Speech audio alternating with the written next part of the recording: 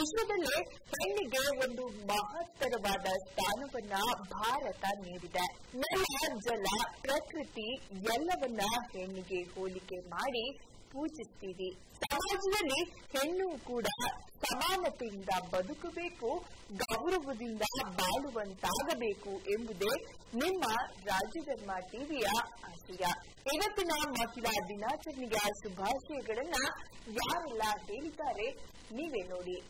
ಈ ಸಂದರ್ಭದಲ್ಲಿ ಎಲ್ಲ ಹೆಣ್ಮಕ್ಳ ಹತ್ರ ಕೇಳ್ಕೊಳ್ಳೋದು ಇಷ್ಟೇ. ನಮ್ಮ ಹಿರಿಯವ್ರನ್ನ, ನಮ್ಮ ತಾಯಿ ತಂದೆ ತಾಯಿಗಳನ್ನ ಗೌರವಿಸೋಣ. ಯಾಕೆಂದರೆ ಮುಂದೆ ನಾವು ಆ ಏಜಿಗೆ ಹೋಗ್ತೇವೆ, ಆವಾಗ ನಮ್ಮ ಮಕ್ಕಳು ನಮ್ಮನ್ನು ಹಾಗೆ ಪ್ರೀತಿಯಿಂದ ನೋಡ್ಕೊಳ್ತಾರೆ. ನಾವೆಲ್ಲರೂ ಈ ಸ, ಈ ಸಂದರ್ಭದಲ್ಲಿ ಈ ಒಂದು ಸಂಕಲ್ಪ ಮಾಡೋಣ. ನಮ್ಮ ತಂದೆ ತಾಯಿನ ಪ್ರೀತಿಯಿಂದ, ಅತ್ತೆ ಮಾವಿದ್ರನ್ನ ಪ್ರೀತಿಯಿಂದ ನೋಡ್ಕೊಳ್ಳೋಣ. ಧನ್ಯವಾದಗಳು. ಎಲ್ಲರಿಗೂ ಮಹಿಳಾ ದಿನಾಚರಣೆಯ ಶುಭಾಶಯಗಳು. ಔದ್ಯೋಗಿಕವಾಗಿ ಉನ್ನತ ಸ್ಥಾನಗಳನ್ನು ಪಡೆದುಕೊಂಡಿರುವಂಥ ಮಹಿಳೆ ಸಾಮಾಜಿಕವಾಗಿ ಸಾಧಿಸಬೇಕಾದಂತಹ ದಾರಿ, ನಡೆಯಬೇಕಾದಂತಹ ದಾರಿ ಇನ್ನೂ ಬಹಳ ದೂರವಿದೆ. ಧಾರ್ಮಿಕ್, ಧಾರ್ಮಿಕವಾಗಿ, ಸಾಂಸ್ಕೃತಿಕವಾಗಿ ಅವಳ ಮೇಲೆ ಏರಲಾಗಿರುವಂಥ ದಿಗ್ಬಂಧನಗಳನ್ನು ಸಡಿಲಿಸಿಕೊಳ್ಳುವಂಥ ಶಕ್ತಿಯನ್ನು ಅವಳು ತನ್ನಲ್ಲಿ ರೂಪಿಸಿಕೊಳ್ಳಬೇಕಾಗಿದೆ. ಈ ಮಹಿಳೆಗೆ ಬೇಕಾದಂತಹ ಸಾಮಾಜಿಕ, ಸಾಂಸ್ಕೃತಿಕ ಮೌಲ್ಯಗಳನ್ನು ಒಡಗೂಡಿಸಿಕೊಂಡು ಘನತೆಯಿಂದ ಬದುಕುವಂಥ ಒಂದು ಸಮಾಜವನ್ನು ನಿರ್ಮಿಸುವಂಥದ್ದು ನಮ್ಮೆಲ್ಲರ ಆದ್ಯ ಕರ್ತವ್ಯವಾಗಬೇಕು ಈ ನೆಲೆಯಲ್ಲಿ ಮಹಿಳೆಯರು ಮಾತ್ರವಲ್ಲ, ಪುರುಷರಲ್ಲೂ ಕೂಡ ಸಮಾನತೆಯ, ಆಶಯದ, ಒಂದು ಸಹಜೀವನದ, ಸ್ವಾತಂತ್ರ್ಯದ ವಿಸ್ತರಣೆಯ ಚಿಂತನೆಗಳು ಒಡಮೂಡಿ ಮಹಿಳೆಗೆ ಒಂದು ಘನವಾದ ಬದುಕು ಸಿಗಲಿ ಅನ್ನೋದು ಈ ಮಹಿಳಾ ದಿನಾಚರಣೆಯ ಸಂದರ್ಭದಲ್ಲಿ ನನ್ನ ಆಶಯವಾಗಿದೆ happy Women's day I love all. I proud my mom.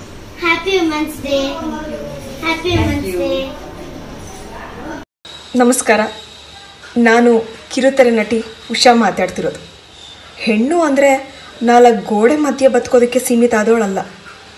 ನಾವು ಆಟೋ ಓಡಿಸೋದಕ್ಕೂ ಸೈ ಅಂತರಿಕ್ಷ ಹಾರಿಸೋದಕ್ಕೂ ಸೈ. ಹೆಣ್ಣು ಅಂದರೆ ಪ್ರೀತಿ ಮಮತೆ ವಾತ್ಸಲ್ಯ ಇದೆಲ್ಲದಕ್ಕೂ ಪ್ರತಿರೂಪ ಅಂತ ಹೇಳ್ತಾರೆ. ಸೊ ಅಂತ ಎಲ್ಲ ನನ್ನ ತಾಯಂದಿರಿಗೂ ಅಕ್ಕ ತಂಗಿಯರಿಗೂ ಮಹಿಳಾ ದಿನಾಚರಣೆಯ ಹಾರ್ದಿಕ ಶುಭಾಶಯಗಳು.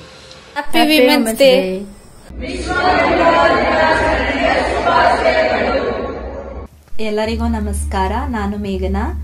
ಆ, ಭಾರತದ ಮಹಿಳಾ ಮಣಿಗಳಿಗೆ ಅಂತಾರಾಷ್ಟ್ರೀಯ ಮಹಿಳಾ ದಿನಾಚರಣೆಯ ಹಾರ್ದಿಕ ಶುಭಾಶಯಗಳು. ಭಾರತದಲ್ಲಿ ನಾವು ಮಹಿಳೆಗೆ ಪೂಜ್ಯ ಸ್ಥಾನವನ್ನು ನೀಡಿ ಗೌರವಿಸ್ತಾ ಇದ್ದೀವಿ. ಆದರೆ ಆಕೆಗೆ ನೀಡಬೇಕಾಗಿರುವಂತಹ ನೈಜ ರಕ್ಷಣೆಯಲ್ಲಿ ನಾವು ಯಾವ ಮಟ್ಟದಲ್ಲಿ ಇದ್ದೀವಿ ಅಂತ ಯೋಚನೆ ಮಾಡಬೇಕಾಗುತ್ತೆ. ಇವತ್ತು ಇಪ್ಪತ್ತೊಂದನೇ ಶತಮಾನದಲ್ಲಿ ಆಕೆ ನಾಲ್ಕು ಗೋಡೆಗಳ ಮಧ್ಯದಲ್ಲಿ ಅಳುಮುಂಜಿಯಾಗಿ ಕೂತಿಲ್ಲ. ಪುರುಷನಿಗೆ ಸಮಾನವಾಗಿ ಪ್ರತಿಯೊಂದು ಕ್ಷೇತ್ರದಲ್ಲೂ ಕೂಡ ಆಕೆ ನಿಂತು ಹೋರಾಟವನ್ನ ಮಾಡ್ತಾ ಇದ್ದಾಳೆ, ತನ್ನ ಸಾಧನೆಯನ್ನ ಮಾಡಿ ತೋರಿಸ್ತಾ ಇದ್ದಾಳೆ. ಆದ್ರೆ ಆಕೆಗೆ ತನ್ನನ್ನ ತಾನು ರಕ್ಷಣೆ ಮಾಡ್ಕೊಳಕ್ಕಾಗದೇ ಇರುವಂತಹ ದುಸ್ಥಿತಿ ಇದೆ. ಯಾಕೆ ಅಂದ್ರೆ ಇತ್ತೀಚೆಗೆ ಹೆಚ್ಚಾಗ್ತಾ ಇರುವಂತಹ ಭ್ರೂಣ ಹತ್ಯೆ ಇರ್ಬೋದು, ಅತ್ಯಾಚಾರ ಪ್ರಕರಣಗಳಿರ್ಬೋದು, ವೇಶ್ಯಾವಾಟಿಕೆ ಅಂತ ಕೃತ್ಯಗಳಿರ್ಬೋದು, ಮಾನಸಿಕ ಹಿಂಸಾಚಾರಗಳಿರ್ಬೋದು, ಪ್ರತಿಯೊಂದನ್ನ ನಾವು ನೋಡ್ತಾ ಹೋದ್ರೆ ಆಕೆಗೆ ಸಿಗ್ಬೇಕಾಗಿರುವಂತಹ ನಿಜವಾದ ಸ್ವಾತಂತ್ರ್ಯ ರಕ್ಷಣೆಯನ್ನ ನಾವು ನೀಡ್ತಾ ಇದ್ದೀವ. ಎಷ್ಟೋ ಜನ ಹೆಣ್ಮಕ್ಳು ರಸ್ತೆ, ನೈಟ್ ಟೈಮಲ್ಲಿ ರಸ್ತೆಯಲ್ಲಿ ಓಡಾಡಕ್ಕೂ ಕೂಡ ತುಂಬಾ ಹೆದರುವಂತ ಪರಿಸ್ಥಿತಿಯಲ್ಲಿ ನಾವು ಒಂದು ದಿನದ ಒಂದು ಆಚರಣೆ ಅಂತ ನಾವು ಫಿಕ್ಸ್ ಮಾಡಿ ಅಂತಾರಾಷ್ಟ್ರೀಯ ಮಹಿಳಾ ದಿನಾಚರಣೆ ಅಂತ ಮಾಡಿ ನಾವು ಸನ್ಮಾನವನ್ನ ಮಾಡಿದ್ರೆ ಆಕೆಗೆ ಅದು ಸಮರ್ಪಣೆ ಆಗುತ್ತಾ ಅನ್ನೋದನ್ನ ನಾವು ಯೋಚನೆ ಮಾಡ್ಬೇಕಾಗುತ್ತೆ. ನಿಜವಾಗಿಯೂ ಸಿಗ್ಬೇಕಾದಂತಹ ರಕ್ಷಣೆ ಎಲ್ಲಿ ಮಹಿಳೆಗೆ ಸಿಗುತ್ತೋ ಅವತ್ತು ಅಂತಾರಾಷ್ಟ್ರೀಯ ಮಹಿಳಾ ದಿನಾಚರಣೆ ಅರ್ಥಪೂರ್ಣ ಆಗುತ್ತೆ ಅಂತ ನಾನು ಹೇಳೋಕೆ ಇಷ್ಟಪಡ್ತೀನಿ. ಧನ್ಯವಾದಗಳು. Ajita Gildial, and Women's Day. I dream of my country becoming a place where women first start respecting themselves. We need to command respect rather than just demand it. I hope to stand with my men equally without asking for privileges or for mercy. We deserve to be in a world full of beautiful things with equality of opportunity and happiness all around. So, wishing everybody lots of peace, lots of success, irrespective of what your gender is. Let's see an India which is truly liberal, truly equal, truly inspiring for all. Thank you. ಮಹಿಳಾ ದಿನಾಚರಣೆ ಪರವಾಗಿ ಎಲ್ಲ ಮಹಿಳೆಯರಿಗೆ ಮತ್ತು ಬಂಧುಗಳಿಗೆ ಮಹಿಳಾ ದಿನಾಚರಣೆ ಶುಭಾಶಯನ ಕೊಡ್ತೀನಿ ಮತ್ತು ನಾವೆಲ್ಲರೂ ಸೇರಿ ಮಹಿಳೆಯರ ಒಂದು ಉದ್ಧಾರಕ್ಕಾಗಿ ಮತ್ತು ಸಮಾನತೆಗಾಗಿ ಶ್ರಮಿಸೋಣ ಮತ್ತು ಅವರನ್ನು ಇನ್ನೂ ಹೆಚ್ಚಿನ ಒಂದು ಉತ್ತಮ ರೀತಿಯಲ್ಲಿ ಮುಂತರಲು ಪ್ರಯತ್ನ ಪಡೋಣ ಅಂತ ಕೇಳ್ಕೊಳ್ತೀನಿ ಎಲ್ರಿಗೂ ಮಹಿಳಾ ದಿನದ ದಿನಾಚರಣೆಯ ಶುಭಾಶಯಗಳನ್ನು ಹೇಳೋದಕ್ಕೆ ಇಷ್ಟಪಡ್ತೇನೆ. ಮೊದಲನೇದಾಗಿ ಮಹಿಳಾ ದಿನಾಚರಣೆ ಅನ್ನುವಂಥದ್ದು ಭಾರತದ ಚಿಂತನೆ ಅಲ್ಲ. ಅಮೇರಿಕದಲ್ಲಿ ಕಾರ್ಮಿಕ ಮಹಿಳೆಯರು ತಮ್ಮ ಮೇಲೆ ಆಗ್ತಾ ಇದ್ದಂಥ ಒಂದು ದೌರ್ಜನ್ಯವನ್ನು ತಡೆಗಟ್ಟೋದಕ್ಕೆ ಅವರು ಹಮ್ಮಿಕೊಂಡಂಥ ಒಂದು ಚಳುವಳಿ ನಂತರದಲ್ಲಿ ಅದು ಮಹಿಳಾ ದಿನಾಚರಣೆ ಅನ್ನುವಂಥ ಒಂದು ಮೌಲ್ಯವನ್ನು ತುಂಬಿಕೊಂಡು ಮಾರ್ಚ್ ಎಂಟನೇ ತಾರೀಕಿನಂದು ವಿಶ್ವದಾದ್ಯಂತ ಅದು ತನ್ನ ಎಲ್ಲೆಯನ್ನು ಗುರುತಿಸ್ಕೊಂಡು ಇವತ್ತು ಅದು ಚಳುವಳಿಯ ರೂಪದಲ್ಲಿ ದಿನಾಚರಣೆಯನ್ನು ನಾವು ಆಚರಿಸ್ತಾ ಇದ್ದೀವಿ.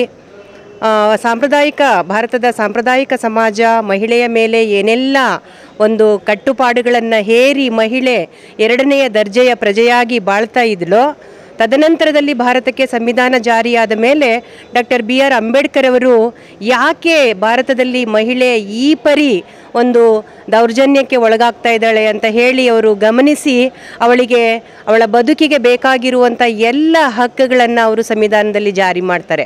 ಆದರೆ ಇವತ್ತಿಗೂ ಕೂಡ ಎಲ್ಲ ಮಹಿಳಾ ಹಕ್ಕುಗಳು ಎಲ್ಲೋ ಒಂದು ಕಡೆ ಪುಸ್ತಕದ ರೂಪದಲ್ಲಿ ಇದ್ದಾವೆ ಹೊರತು ಎಲ್ಲ ಮಹಿಳೆಯರಿಗೆ ಅವು ಇನ್ನೂ ದಕ್ಕಿಲ್ಲ ಅನ್ನೋ ಅನ್ನುವಂಥದ್ದನ್ನು ನಾವು ಕಾಣ್ಬೋದಾಗಿದೆ. ಹಾಗಾಗಿ ಕಲಿತ ಮಹಿಳೆ ಇರ್ಬೋದು ಅನಕ್ಷರಸ್ಥ ಮಹಿಳೆ ಇರ್ಬೋದು ಇವತ್ತು ತನ್ನ ಹಕ್ಕುಗಳನ್ನು ಏನೆಲ್ಲ ಆ, ಹಕ್ಕುಗಳಿದ್ದಾವೆ ಆ- ಅವುಗಳನ್ನು ಅವಳು ಬಳಸಿಕೊಳ್ಳುವುದರ ಮೂಲಕ ತನ್ನ ಅನನ್ಯತೆಯನ್ನು, ಅಸ್ಮಿತೆಯನ್ನು ಈ ದಿಕ್ಕಿನಲ್ಲಿ ಅವಳು ಗುರುತಿಸ್ಕೊಳ್ಬೇಕಾಗಿದೆ. ಅದು ಈ ಹೊತ್ತಿನ ಜರೂರು ಕೂಡ ಅತ್ಯಗತ್ಯ ಅನ್ನುವಂಥದ್ದು ನನ್ನ ಅನಿಸಿಕೆ ಅಂತ ಹೇಳ್ತೀನಿ.